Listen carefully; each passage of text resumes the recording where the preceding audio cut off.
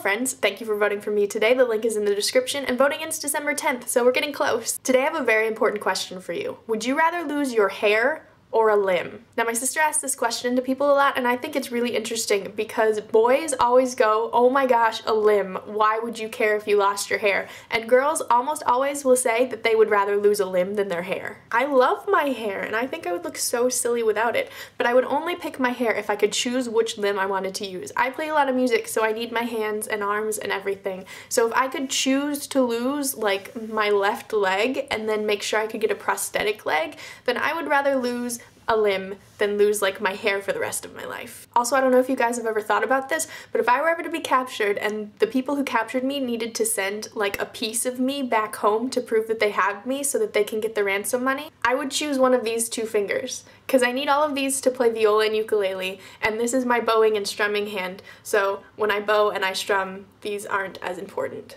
Know if kidnappers ask you what part of your body you want to lose for proof that they have you but if they do I am set. So now y'all know if I'm ever in a terrible accident when you're around, I'm knocked unconscious, the doctor turns to you and says, I don't know what to do. I can only save her hair or her leg. You know to tell the doctor to save my hair.